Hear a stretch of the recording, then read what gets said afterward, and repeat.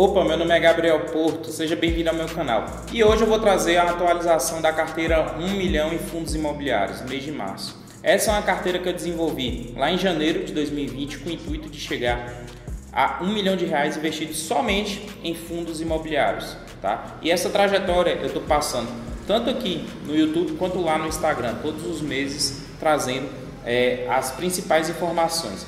E hoje eu vou mostrar para vocês como ela está as principais informações lá dentro da minha planilha de controle financeira. Eu já estou com ela aberta aqui, vou mostrar para vocês. Então, é, essa é a minha planilha de controle financeira, atualizada para o ano de 2021. Tá? É, o total de aportes que eu fiz nessa carteira, meus aportes mais reinvestimento de dividendos, já está girando em algo em torno de R$ 131.210,38, né? Todo esse valor aplicado em fundos imobiliários, como vocês podem ver aqui, e o saldo atual em fundos imobiliários é hoje de 129.729 e 12, tá? Essa carteira de um mês para cá teve uma queda de 1,128%, tá? visto que eu tenho grande exposição, principalmente em fundo de shopping, tá? que caiu bastante agora após essa nova onda de lockdown e fechamento. O mercado reage da maneira mais rápida possível. Tá? Então, isso faz com que os preços caiam e se por um lado minha carteira deu uma desvalorizada, por outro, essa é uma nova oportunidade de compra para quem visa o médio e longo prazo, certo? Então tá aqui as porcentagens é, dos meus ativos dentro da carteira, vocês podem perceber que as maiores são em fundos de tijolo, tá? principalmente em fundos de galpão logístico tá? e em fundos de shopping center. Aqui esse outro gráfico é bem interessante ele mostra as posições por segmento. Tá? Então 38% da carteira está em galpão logístico, é, 6% em lajes corporativas, que são os escritórios, Shopping representa 16% do patrimônio total da carteira. Essa parte aqui de híbrido, 5%, é, corresponde ao KNRI 11, tá? que é 5% da minha carteira, que ele tem tanto laje corporativa quanto galpão logístico. 20% em papel, 8% em varejo, 4% em desenvolvimento e 4% no setor educacional. Aqui são todos os meus ativos. Hoje essa carteira tem 19 fundos imobiliários.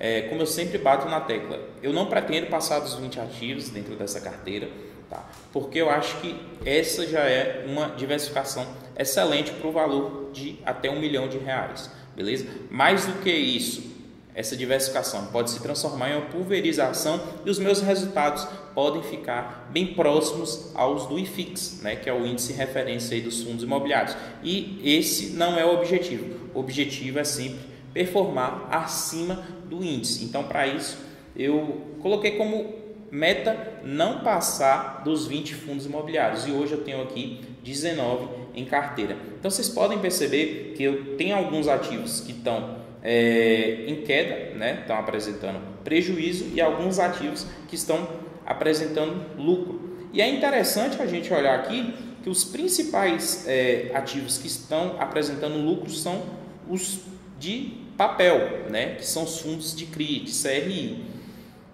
É, e meus principais prejuízos estão em fundos de shopping, como o HSML e o HGBS. Tá? HGRE de laje corporativa também tem um pouco. Um ponto importante para mostrar aqui para vocês é essa parte aqui de renda estimada. É bem interessante essa aba porque ela me dá uma ideia, uma previsão do quanto que eu irei receber na, no próximo mês, tá? Esse vídeo eu estou gravando aqui em março de 2021, então essa é uma previsão. Se eu não investir mais nada, se eu fechar esse mês de março com a carteira desse jeito, quanto que eu vou receber lá em abril só que referente a esse mês de março, tá? Tá girando aqui algo em torno, dividend yield de 0,59, né? Dividend yield aproximado de 0,6, que fica dentro do meu perfil como investidor, que é um perfil moderado. Perfil moderado é entre 0,6% a 0,8%. Teve uma queda desse dividend yield, mais uma vez por conta dos fundos imobiliários de shopping. Fechamento, além de trazer uma queda nos preços, uma queda no dividendo também é observado. Beleza? Então, a renda estimada está girando aqui em algo em torno de R$ 777,42 para esse valor atual aqui de compras. Tá? É, vocês podem perceber mais uma vez que as minhas maiores posições são em fundos de tijolos, tá? Isso faz com que o, o yield seja um yield moderado, tá? Um yield não tão agressivo, porém, se eu expor a minha carteira a fundos de, tijo, de papel e a fundos de desenvolvimento, que é a parte mais arriscada da carteira, esse yield tende a subir para pelo menos um 0,7, 0,8% ou até mais do que isso, tá? É, aqui é a, é a aba de movimentações, na qual eu coloco todas as minhas posições.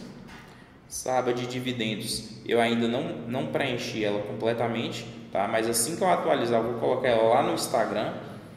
E nessa aba de, de carteira aqui também é interessante a gente dar uma olhada nesses outros fundos imobiliários que eu não tinha citado antes. Por exemplo, fundo como o, o HGLG11, né, que é um fundo aí de galpão logístico. A gente pode perceber que alguns do setor, do setor de galpão deu uma queda, mas esse fundo em específico eu aproveitei a última subscrição dele que saiu por 155 reais. Eu comprei bastante e abaixei bem meu preço médio.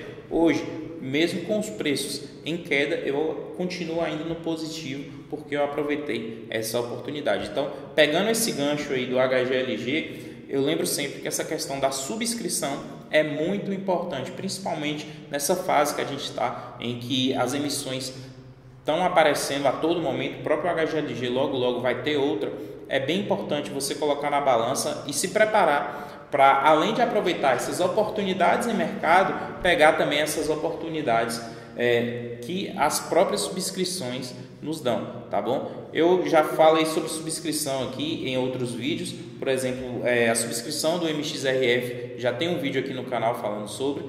E se você quiser dar uma olhada, é aprender mais, eu vou deixar aqui também um card sobre é, como realizar a subscrição na prática, que é muito interessante, muita gente ainda tem dúvidas sobre isso, e as principais informações que você precisa colher. Tá? Ter essa informação é, é muito importante para você conseguir buscar os melhores preços, além do que o mercado primário pode te oferecer. Tá? Então, esses são os meus resultados aqui da carteira 1 milhão em FIIs até o momento, para março de 2021. Se você gostou dessa planilha e quer utilizar ela também na sua, na sua estratégia, no seu planejamento financeiro, eu vou deixar aqui na descrição o link, é só você clicar e baixar a sua. Eu espero que você tenha gostado desse vídeo, que eu tenha te ajudado.